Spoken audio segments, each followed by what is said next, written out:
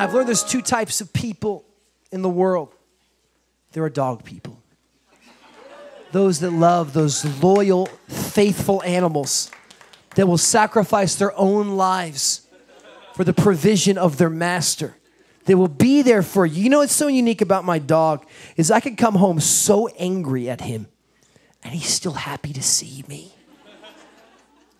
You know, I can I can lay into my dog and yell at him if he does something wrong, and he's just as happy with me as he was five minutes ago. Because they don't remember things longer than 15 seconds. I love those loyal animals. But then there are cat people. People that sign up for abuse and selfishness.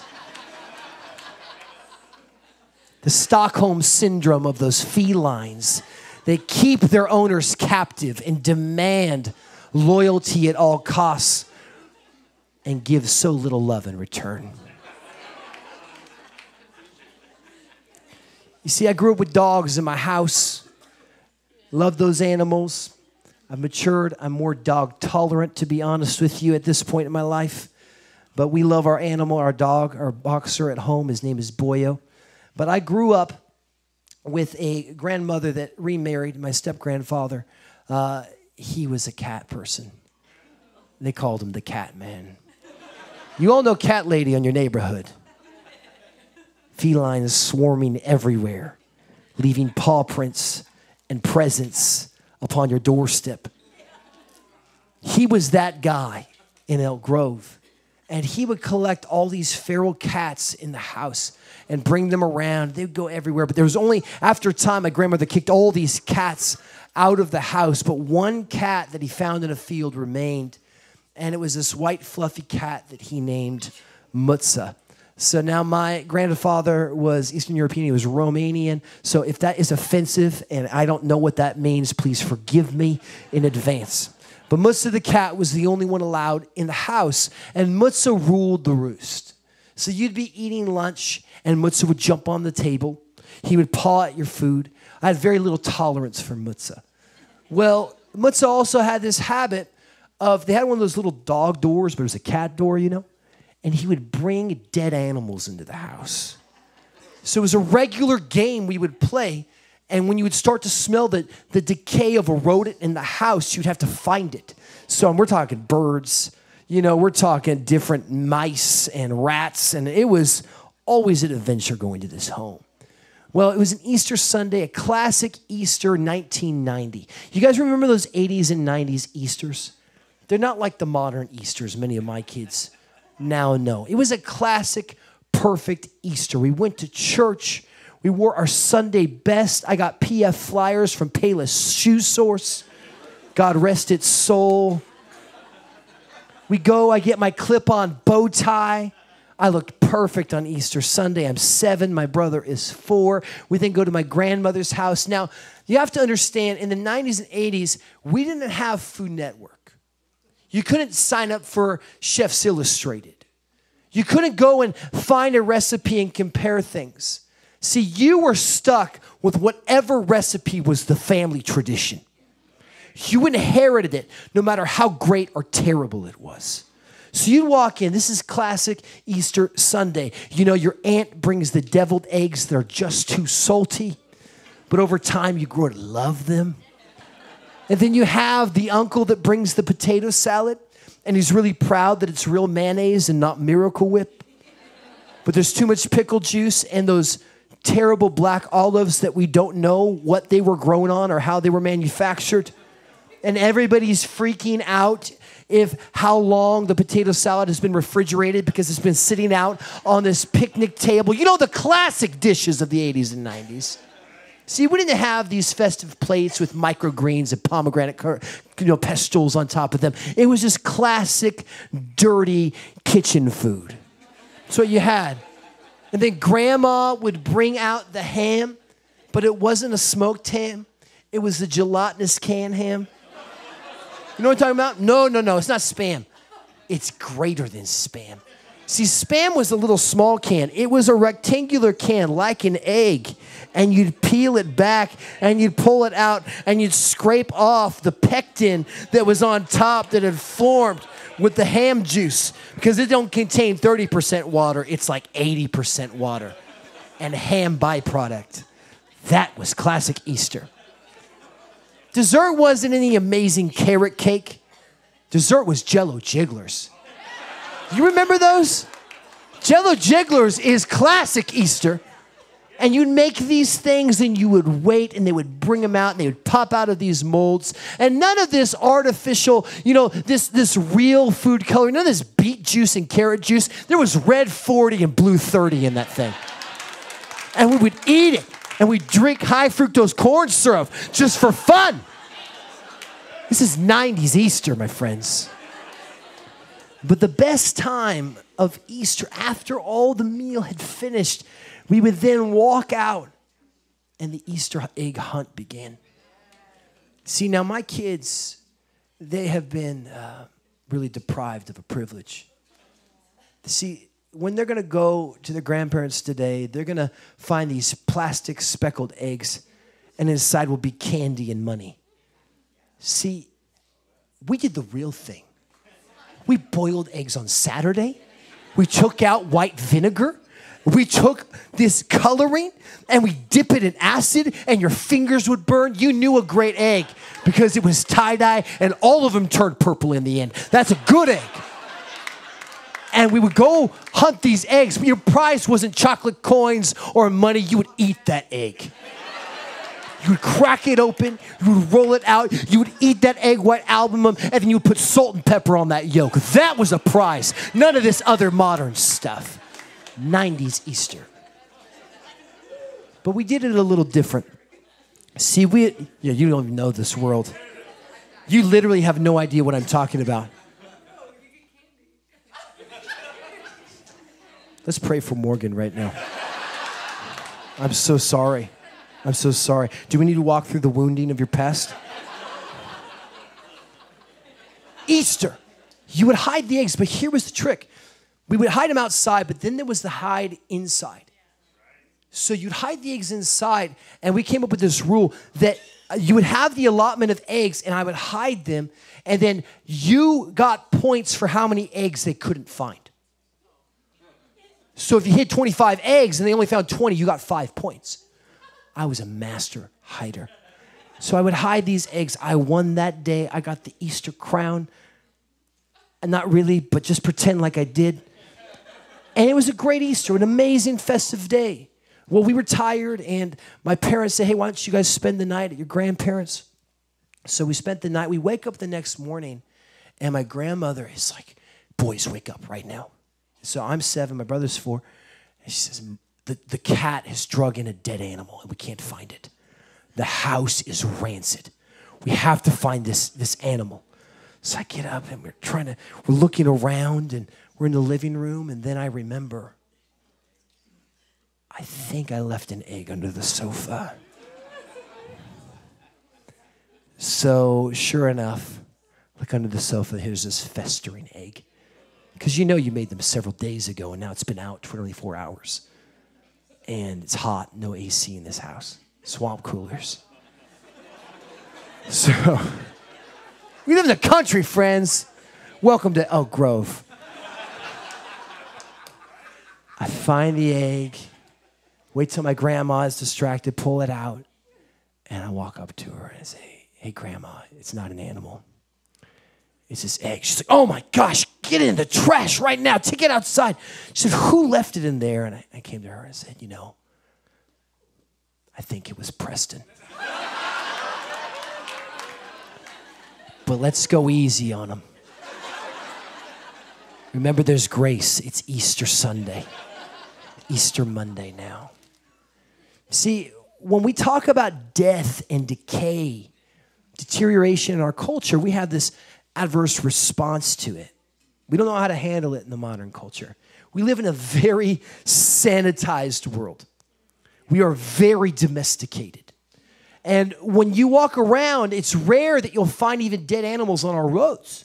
If you see one, you call animal services and it's gone within hours. It's very rare that you'll see a dead body on the road. If you do, you'll see it on a gurney going into an ambulance. Often, the only times we'll see you know, a dead body in real life is at a funeral or, or honestly, it's just on TV. And we've been so removed from death and decay in our culture, it's a foreign concept. However, in the first century, death was common, it was part of your everyday life. You would often hear of someone dying, of sickness, unexpected illness. Think about this. You would go to the marketplace, the story of the Good Samaritan.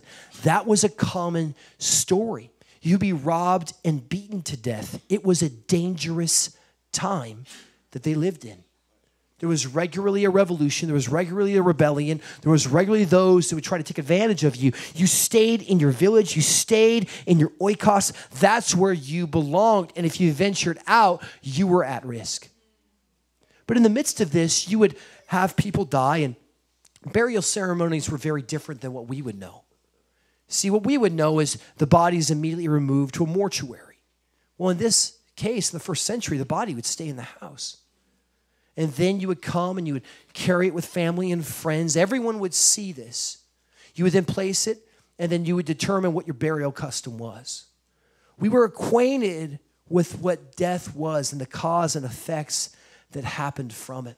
It was common in that culture. However, there was one word you would never say. There was one phrase you would rarely hear. And as we study first century literature, it was rarely used. It was often described, but the word was not used because of the terror and horror and trauma it evoked, and that was the word crucifixion. When we think about death and corporal punishment, there was many ways that Rome would punish people. But the most grotesque, the most inhumane was death on a cross. It was so foul and so brutal. If you said the word, it's now what we would identify as post traumatic stress disorder. When you would say it, those images would jar you because often they were family members or friends that you knew that were crucified. And if you grew up as a Jew in the Greco Roman world, you were hated. You were not liked. And if you had a rebellion that was led, that leader was crucified along with his family and friends. So regularly, Rome would make an example of anyone that challenged Rome. They invented this method of death. And you would see them leave the corpse of those that they were punishing on crosses for days so that the wild animals could eat the deteriorating flesh.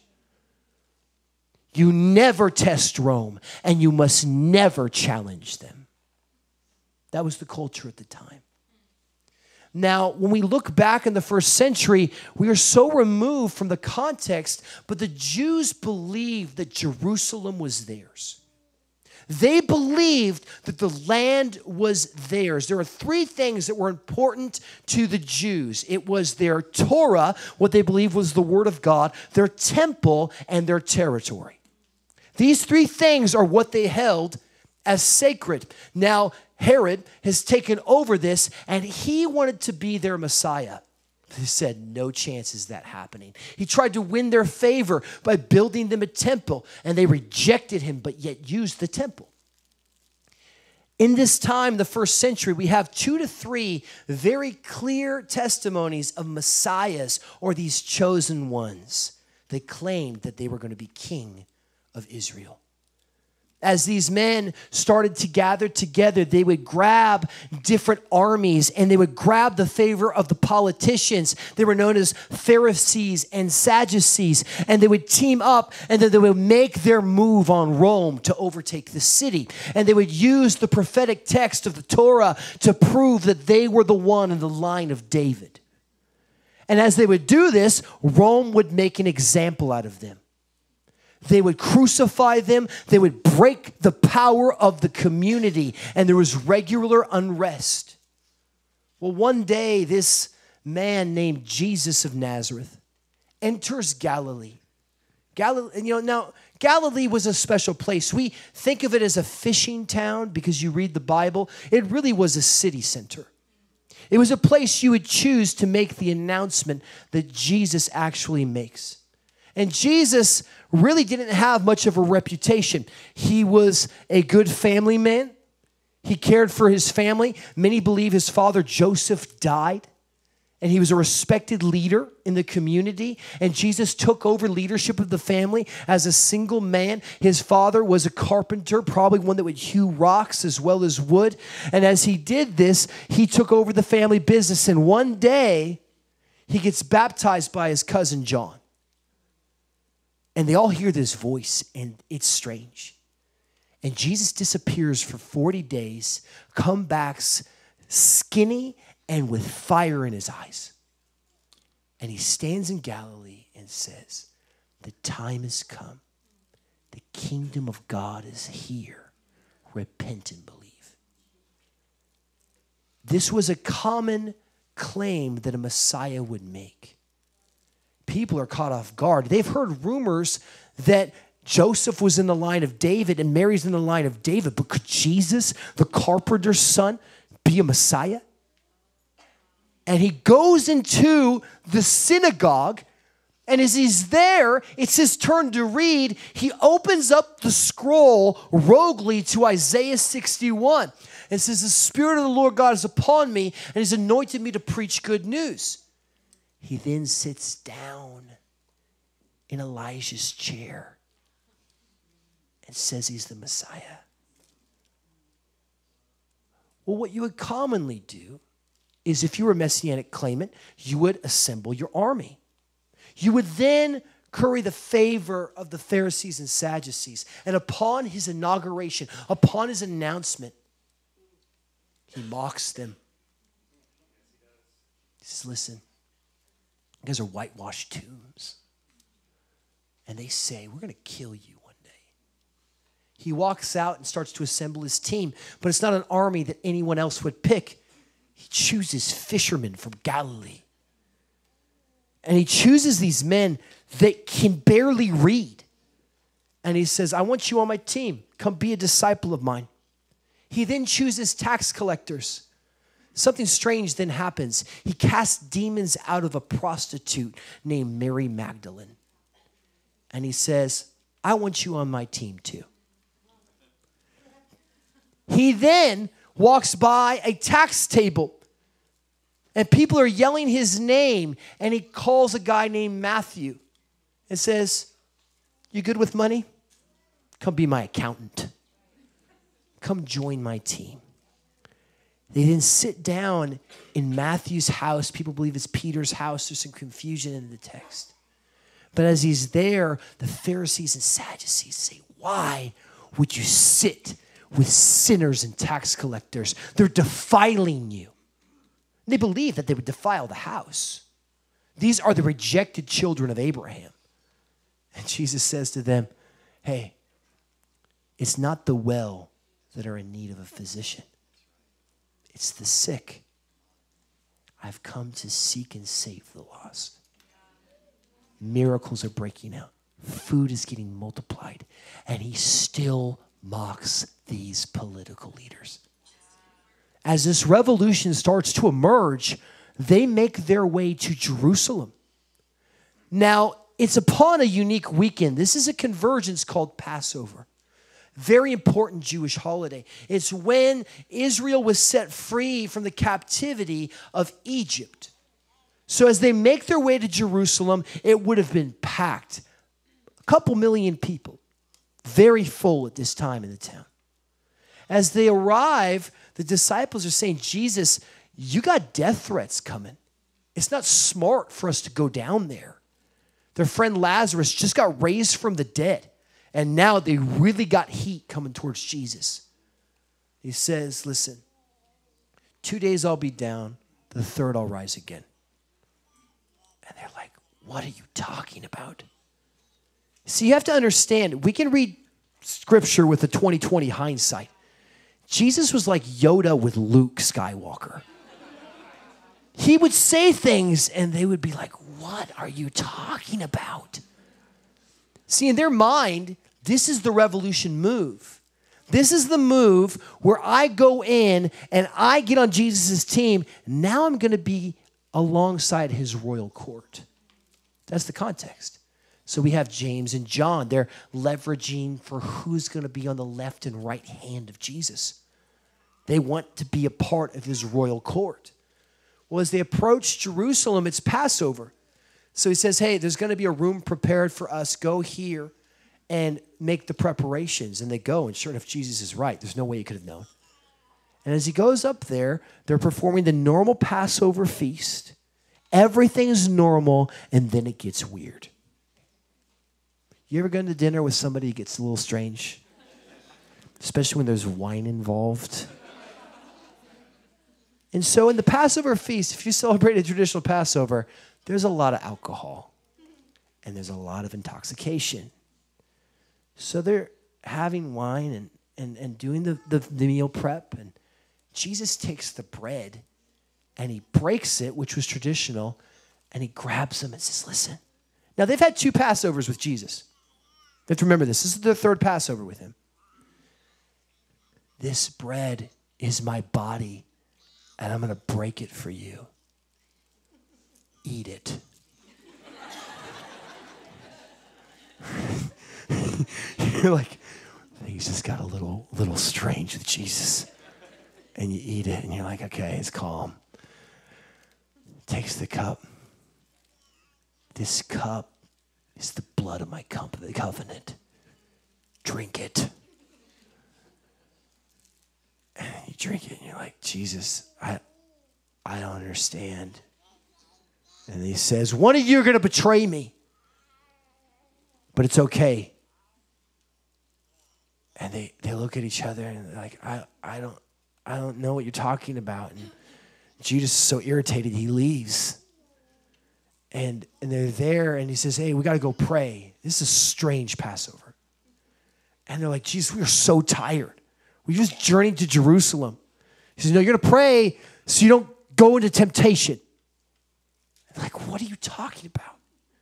He goes to this garden, the garden of Gethsemane, and he starts to pray and he's, and he's sweating drops of blood. They're like, Jesus is breaking down. We've lost Jesus. And they're trying to stay awake, but they don't know what to do. I mean, this is a traumatic event. Your leader, your friend, your family now, because your family's rejected you, you're hanging out with him, he's, got, he's gone off the deep end. And then all of a sudden, there's Judas with these men with swords and, and, and, and, and torches, and they walk towards them. And Peter's like, What are you going to do? And Peter pulls out his sword and, and he cuts a man's ear off. Now, here's what we have to understand you would carry swords back then, that's just what you did. We talked about the marauders. Here's what we have to understand Jesus wasn't, or Peter wasn't so ineffective with a sword. He didn't like go up to him and like cut off his ear. It's not what you. That's just strange. It's weird. So you have to understand, for him to cut off his ear meant that he was going for his head and he ducked. The revolution started. Jesus picks up his ear, puts it back on, and says, Drop the sword. This is strange.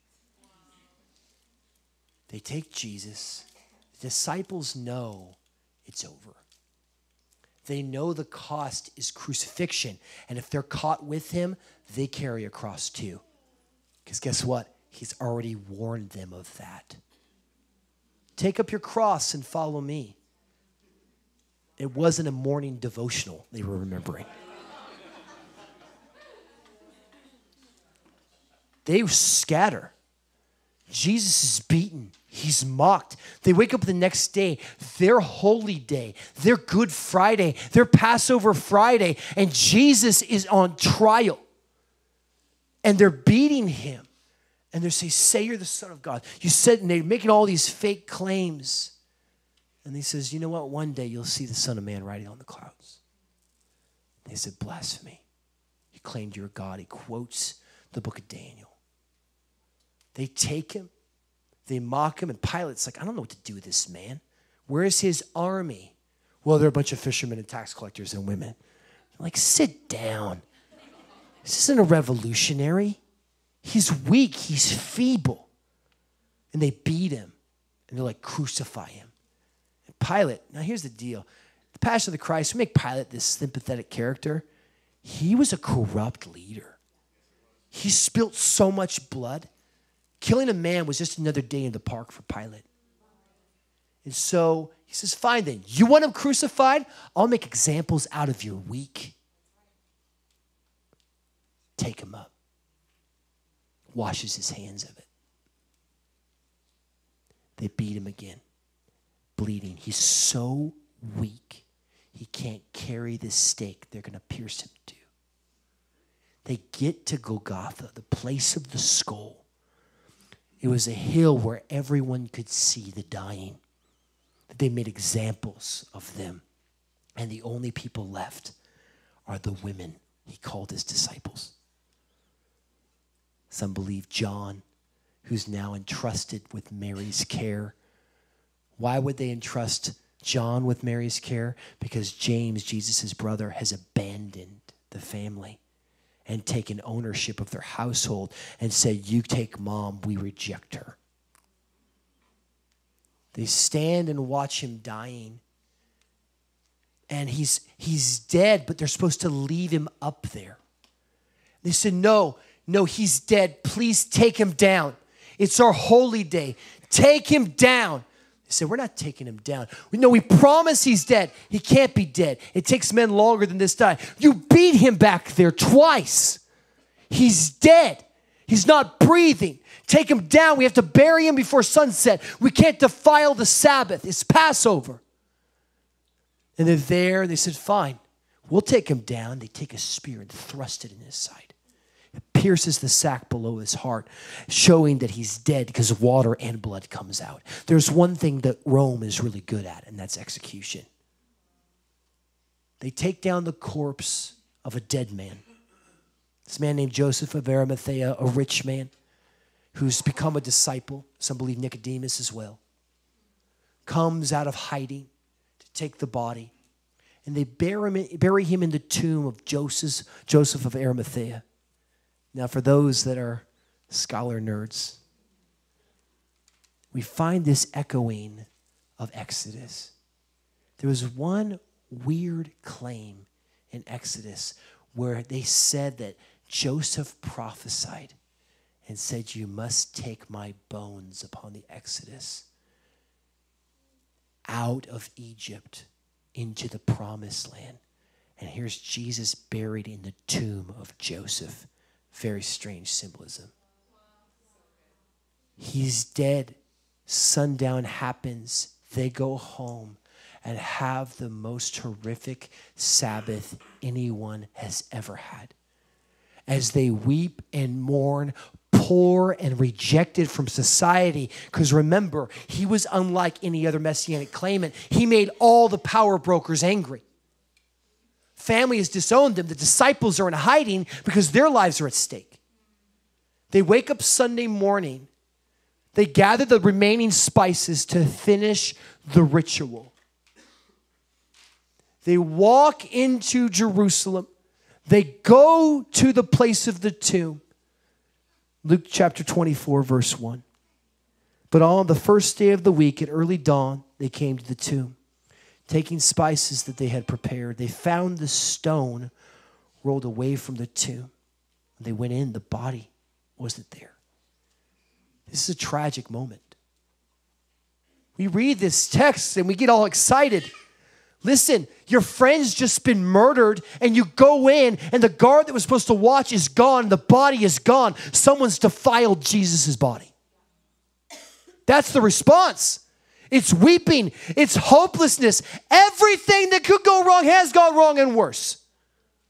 And as you're there, not knowing what to do, as you're walking out, you see this sunlight that's so bright, you don't know how to respond and you're trying, you're so bright, you get down on your knees because you can't see and you think you're dead. The women walk out of the tomb thinking that they're dead, that they've gone to be with Yahweh. Because maybe they've been crucified like Jesus. They don't know. And they walk out and they hear voices say, Don't be afraid. And they, and they see men in dazzling white. They're there. They're in heaven. They're in Abraham's bosom. They don't know where they are. And as they're there, they say, No, no, no, stand up. Why do you seek the living amongst the dead? He's alive. And they, and they see him and they've heard the stories. They've been with Jesus. They've seen some crazy things. And they're like, he's, he's alive. And they run to the disciples and they tell him. And they say, Jesus is real. And I love the way that Luke writes the testimony. See, Luke's this physician. If you hear people, they'll break down the resurrection like, well, Luke was a doctor and he talks about this. No, Luke's not that sophisticated. See, Luke is, is a doctor like many of us today would be like, he could barely make any cuts to even bandage you today. Medicine was not what we know.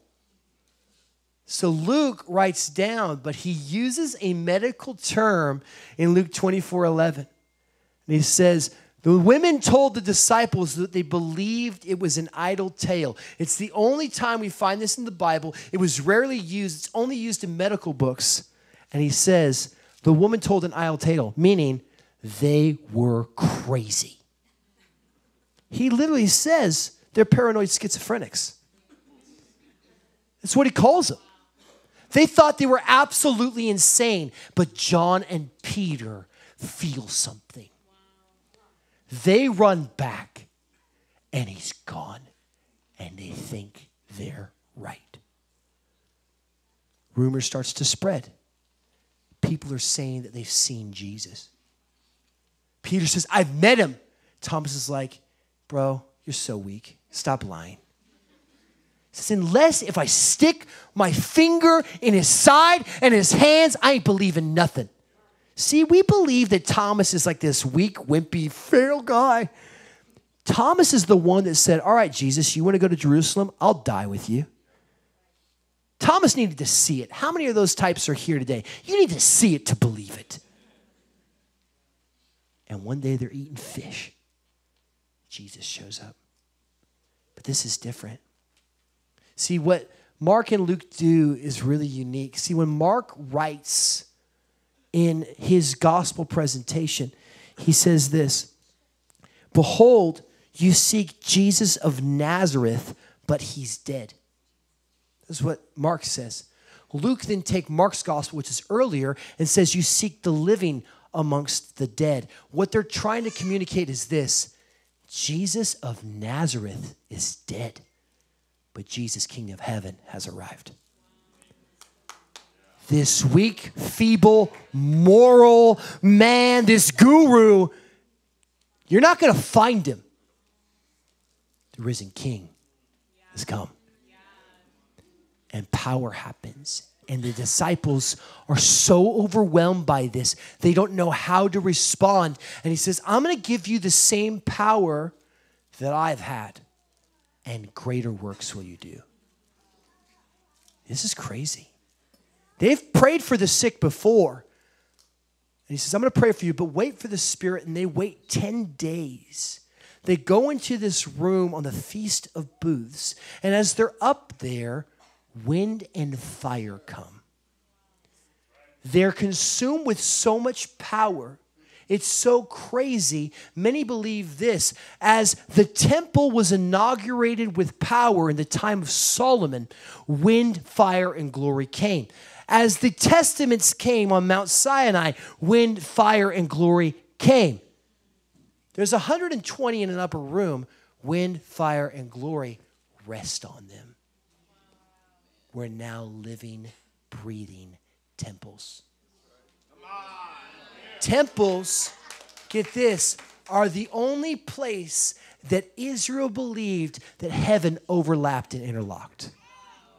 It's the only place. That's why temple, Torah, and territory were so important. Upon the baptism of the Holy Spirit, we're now all walking arks of covenant. They stumble out. People say they're drunk men. Peter preaches, and 3,000 not signed commitment cards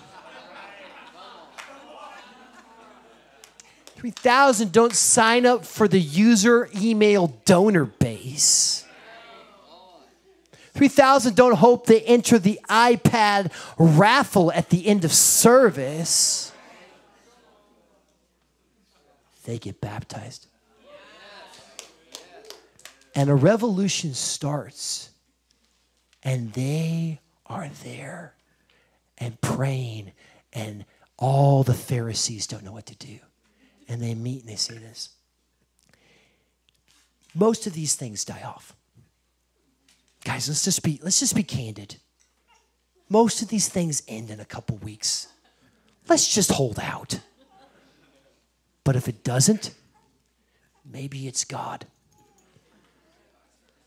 But still, we'll beat him up. So they beat Peter and John. They stumble out. Disciples start praying. Acts chapter 4. They pray with such fervor and fire, the building they're in shakes. But a lot of us don't understand what they pray. They pray Psalm 2. They say in Psalm 2, the King of heaven, look how all of those come against him to break up his people. But Lord, look upon their threats and give us boldness. They believe the Messianic kingdom is still going. And they're the representatives, they're part of the royal court. They stumble out signs and wonders happen. But yet there's one man named Paul, and Paul's the hope of the Pharisees because Paul likes blood. And Paul starts to murder them and it scatters them in Acts chapter 8. And their little glory boy named Stephen, he brings them out and he stones them and makes sure everybody sees it. But as they run, the gospel spreads and spreads. And one day, as Paul finds out the location of these apostles, Jesus shows up, knocks him off his horse, and he goes blind. Says, Paul, why do you persecute me? You know you need to give your life to me. How many identify with Paul? Sometimes we need to get knocked off our horse. Blind, he stumbles. This man named Ananias is a prophet, gets a word. The Spirit says, Go pray for Paul. He says, Are you crazy? I'm going to get killed. No, Paul's in this city, but he's blind. I'm like, Praise God, he's blind. so Ananias, scared to death, sees Paul bewildered, fasted, and says, Hey, give your life to Jesus. I'm going to pray for you. Scales fall from his eyes and he runs away. The persecutor of Christians is now this messenger. People are afraid. The world gets turned upside down. So much so that by the year 300, before Christianity becomes legal under Constantine, over 51% of the Roman Empire convert to Christianity while it's illegal.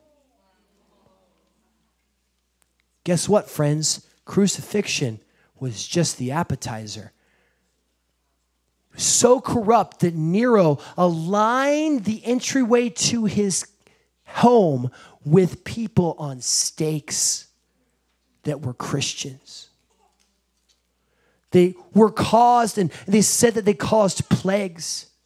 But yet it was the Christians that go and serve those that are dying in the plagues. They serve them in such a way that they become immune to the plagues. They serve them and nurse people back to health during the plagues, that as they get sick, those that they nurse now serve them. And Christianity literally subverts all the pagan deities of Rome in under 300 years.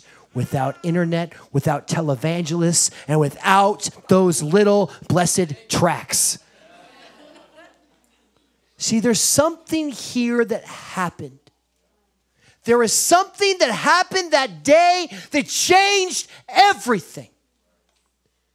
And again, I can give you some great gospel proof I can share with you how the Jesus' resurrection was valid. Here's the bottom line. Anything I convince you of, you can open up a Sam Harris podcast tomorrow morning and be convinced out of. It's not until you encounter the living power of the resurrected Christ.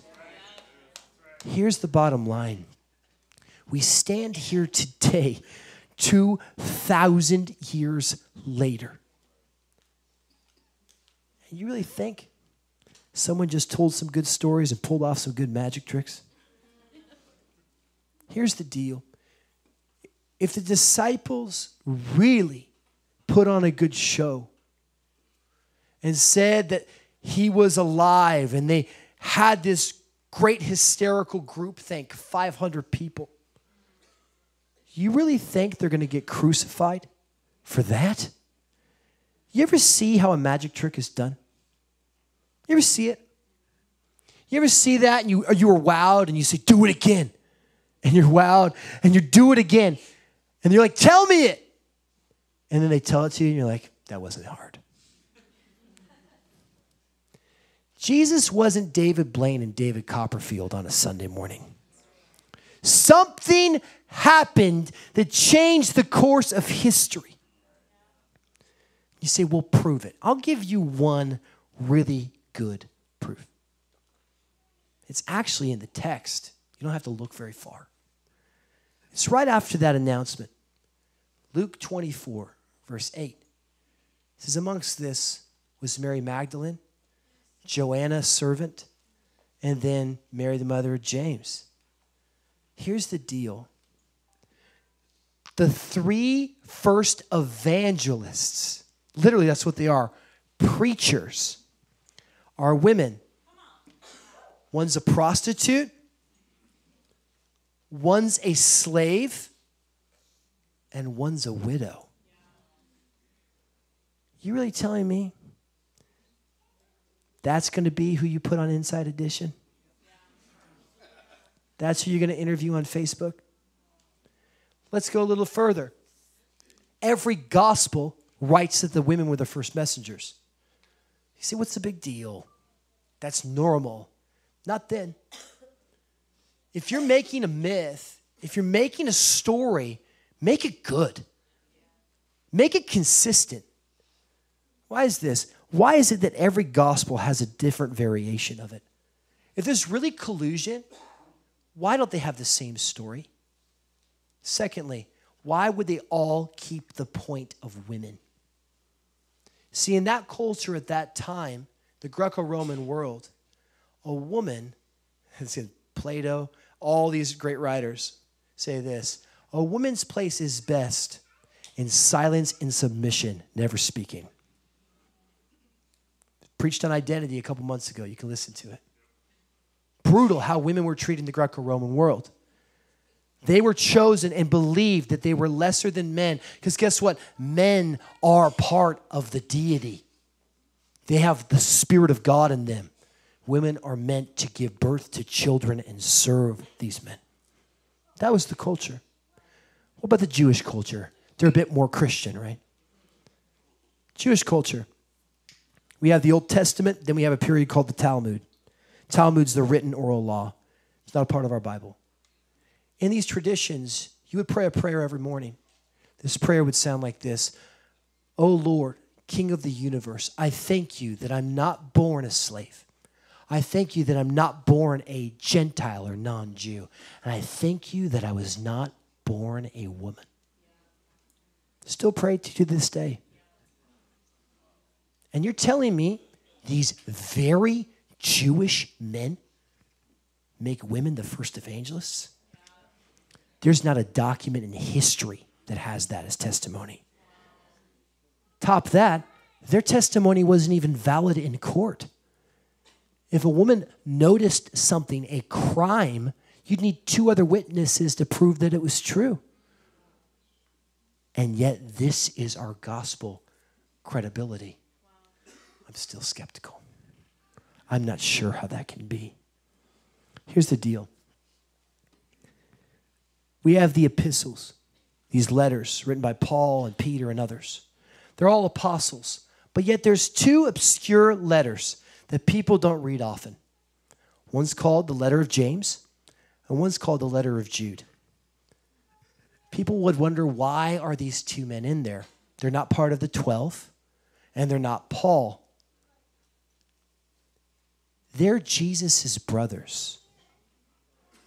James was second in line.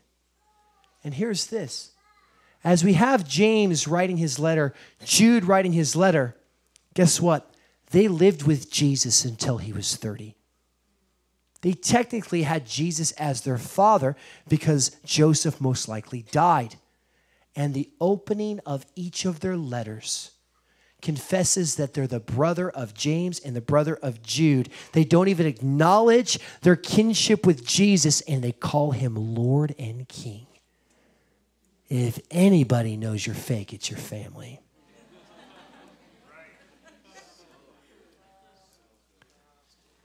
And they don't just tell about it, they're each martyred on behalf of it.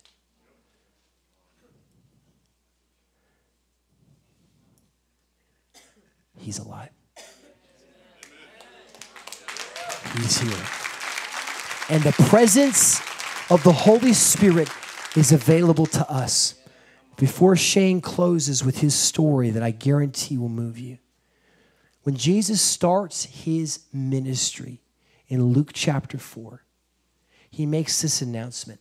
The Spirit of the Lord God is upon me, and He's chosen me to preach good news. He then talks about beauty from ashes and joy in the midst of mourning.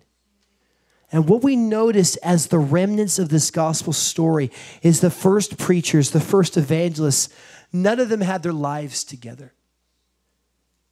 These are prostitutes that became prophets. These are fishermen that became fathers of faith. These are tax collectors. Get this Matthew, the tax collector, is the one that writes the Sermon of the Mount, the greatest teaching on character. He takes what is broken and makes it beautiful. He takes what is burnt and restores it. And unless if you're here today, a commitment card will not change your life. Jesus wants you to make him Lord. And that means making him king. And that means making him number one. Not number two, not number three, not sometimes on a Sunday, but all the time, every day. And that invitation is for you. And that takes place by praying with someone or even yourself. But that's between you and the Lord. But we'd love to baptize you. And we'd love to take you through that journey. At the end of the service today, we'll have opportunity for you to pray with different leaders here. Because sometimes conversion comes with questions, not just a commitment card. My friend Shane has had a tremendous work in Paradise, California. Uh, over 20 different news organizations have come out, filmed it. Here is the Today Show on Shane.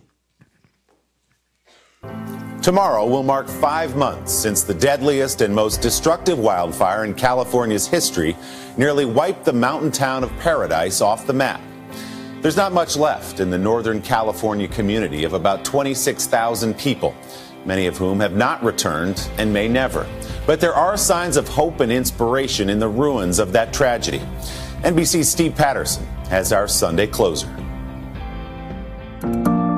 High above what's left of paradise after last fall's Camp Fire burned nearly everything to the ground. It's hard to imagine you could ever find beauty again. But if you look closely, you might find it staring right at you. Paintings of beautiful women projected on the facades of ruins, all the careful creations of one man. I wanted something that definitely affected you emotionally. LA based freelance artist Shane Grammer, who grew up outside of Paradise, says he was inspired to paint there because of one Facebook post a lone chimney rising above the shredded remains of a friend's home. To Shane, it looked more like a canvas. Sometimes you just know, and a, you know, a gut reaction. I knew I needed to go paint that chimney.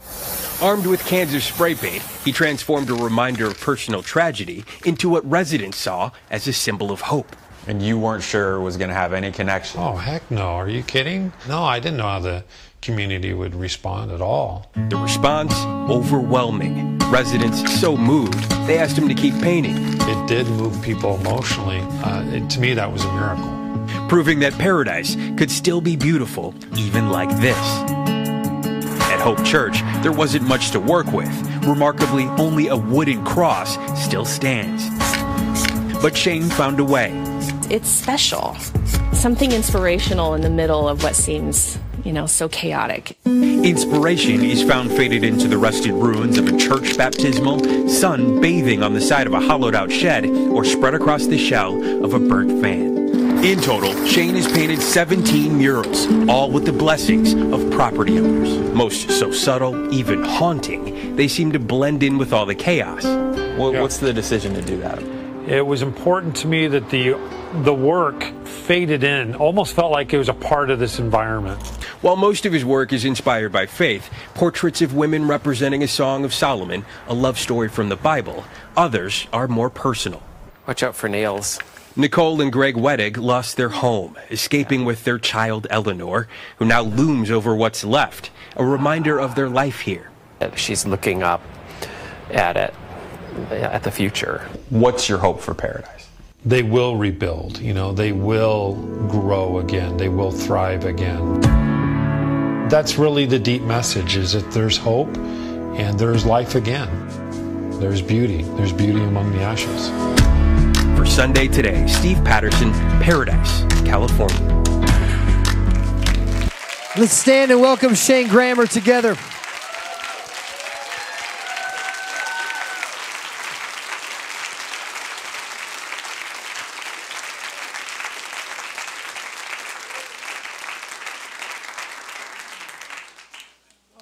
Man, hi.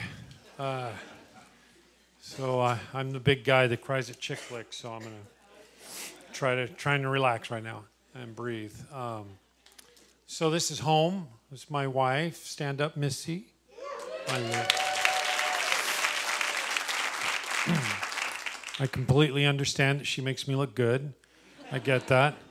Um, but uh, we, we, most of our marriage, we've been at this church. So this church is our family. Our, we have three daughters, and they were born while we were at this church, attending it. So you guys are very special to us, and, and we miss you very much. Um, a lot of people, I've been interviewed by New York Times, LA Times, Ron Howard's team, uh, documentary crews from Stanford, uh, Notre Dame, um, Inside Edition, Washington Post, things like that. So a lot of a lot of news that I've never had in my life, and they always say the first thing they say is you're kind of humble, and uh, and then I say, well, because I've had my life handed over to me. My wife and I know what it's like to, you know, shut a business down, and um,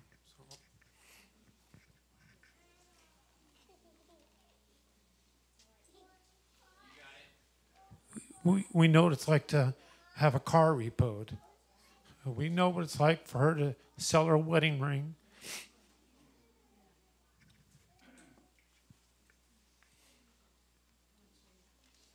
You know, I when I, I came to the Rock, I met with Francis, and um, I had issues. You know, I had brokenness, and I told him, and he said, "Buddy, you need counseling." and uh, and if you know me, you know, it's like, dude, I know. uh, and I started this journey of learning how to uh, open up and uh, get freedom and, and wholeness and trans- learning how to be transparent and learning how to have healthy relationships. And uh, a lot of my testimony is, you know, my real dad died from a heroin overdose, never met him. And my stepfather came in when I was two. He's a raging alcoholic. He despised me because I was from another man. And three years later, they had my younger brother, and my younger brother's his new beginning. So I, I grew up kind of uh, uh, seeing intimacy from the outside. It was on my, I felt like there was plexiglass, you know, in, in there. I couldn't really attain it. And uh, so I thought something was bad, something was wrong with me. And I, I from an early age, I was a good kid, but I, I was you know, peace out. I'm out of here. I'm going to go hang out with friends and my grandma and were people that I thought that connected with me and loved me for who I was. And, and uh, so I, I understand hurt and, and brokenness and things like that. Another, well, before I go to a backstory, is there anyone here from Paradise? Yes. Yes, yeah, awesome. Well, give them a hand. We love you guys very much.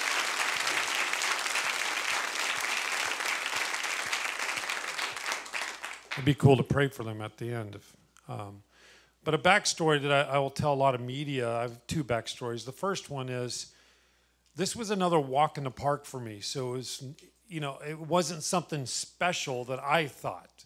Uh, I've been doing murals in orphanages since I was 19. Um, a lot of that through this house. In, in Peru, painted in a church that no one will ever see. Uh, Brazil, painted in a school. And um, inner city, I used to live in San Francisco, lived on Sixth and Mission, working with kids there. Painted murals in the Tenderloin, Hunters Point, um, some pretty devastated areas. Um, and then uh, Cambodia through Clayton Butler. Used to go here. I don't know if he still goes here at the Rock, but um, uh, rescues girls from the sex trade in Cambodia, and I went there and did a mural project. And that's always been a God has always used me to use the gifts that He has given me to bring hope and joy to the downcast and brokenhearted. It's a theme that I'll continue to do the rest of my life. Um, the other backstory is why the woman, and they mention it in, in the media, but yeah, uh, father issues. And when Diane Parnell, uh, a gal that used to go to the Rock, um, does a whole teaching on Song of Solomon and the allegory of this passionate love story from, from God the Father to the beautiful bride, who is us. It's really a love story to us. So that one, that image of the woman is saying, God, you love paradise. You love mankind. You're coming back for a beautiful, spotless bride. And that's also a message to me and my own brokenness and woundings and, and uh, stuff that God is still working with me in, uh, learning how to trust Him as a loving, loving, faithful Father. And, you know, going out there and, and painting this, I, I, I have to do that. I have to express myself as an artist. It's a passion that God has put in me so strong. I didn't care if anybody would would ever put it on media or or blow it up or anything like that. I don't care. I'm going to do it anyways. And I, I, was like addicted out there. It was like, ah, I get to paint on everything, and everybody likes it, you know, or most people did. Um, so uh, I, am blown away by what God has done and just the story that this is, and and I'm and I'm very honored by the leadership here because honestly, this is the first church that has asked, asked me to speak about this which I'm blown away and I'm a little frustrated about um, because mostly it's the world that's been coming to me. And, and I want to see the church get fired up and use the gifts that God has given them to make a difference and to do something. You want to. And I, I do want to give my wife major props because I've traveled a lot. Uh, she is the one holding the fort down with our family. Uh, she is the one that has also said, You need to go back up there and you got to paint, knowing that I'm going to be gone for five, six days at a time. And so I love you, babe, and you're amazing. So thank you very much. Come on, let's stand up together. Let's give it up for Shane. We're going to pray for him. I'll say stand. I've known Shane almost 20 years now, and uh, it's been amazing just seeing the journey he's been on. Uh, he's our junior high director again for several years. We've we've bled together in more ways that we can count. I shared, I think, at first service, uh, Shane and I would regularly yell at God together. Uh, in his truck in front of our old building, Bonita, praying for our wives and why hadn't they come yet? Yes, we did. Uh, over and over again. But uh, but again, a man that again when I when I heard this, a friend sent a text and I had no idea. And he's like, "You don't know what happened?" I was like, "I genuinely don't know. I just saw something. What's going on?" And uh, he shared he shared the story. I said, "You got to share. You got to share to our community because really, Shane is an expression of us." And uh, what it means to be a missionary in the cultural context in many ways. Um, there's one thing we want to pray for. It's open handed. We don't know if it's going to happen, uh, but there's a possibility that Shane could be able to paint on the remains of the Notre Dame Cathedral. Um, that happens. So um, let's just pray for that for Shane and Missy. Um, you know, we want to support you guys if you do that. You know, as missionaries, you know, we're behind you. There's not a question behind that. I know the church would be. Uh, let's extend our hands and leadership can come up. Let's pray for Shane and Missy together, and then we'll pray as a as a church. Actually, Bob, can you pray for them? Is it okay? Oh man, yeah, Jesus. We extend our hands and our hearts towards these guys. Lord, I, first I thank you for Shane's life, God. I thank you for redeeming him. God, I thank you for lifting him out of the ashes of pain and sorrow and dysfunction and sin. I thank you, God. Th- This is a walking testimony of your goodness and your grace and what you can do in somebody that will simply say, Yes, Lord. And so, God, continue to bless him and Missy. And we thank you, God, for their marriage, their life, their children. God, we, we thank you that here's a man that, that has ministered so well in obscurity. He's never looked for attention, he's never sought it out for himself, he's never sought glory.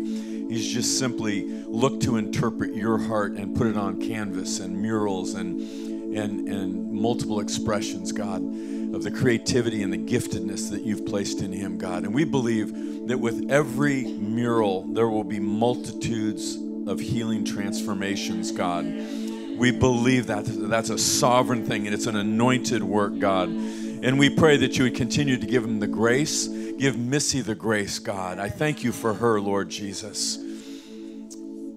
So, God, we just as a church say thank you for this man. Thank you for what you've done in his life, for what you're doing, God. And we know that you get all the glory, you get all the fame, God. And we pray that Shane would continue to represent you well, God. In the name of Jesus, amen.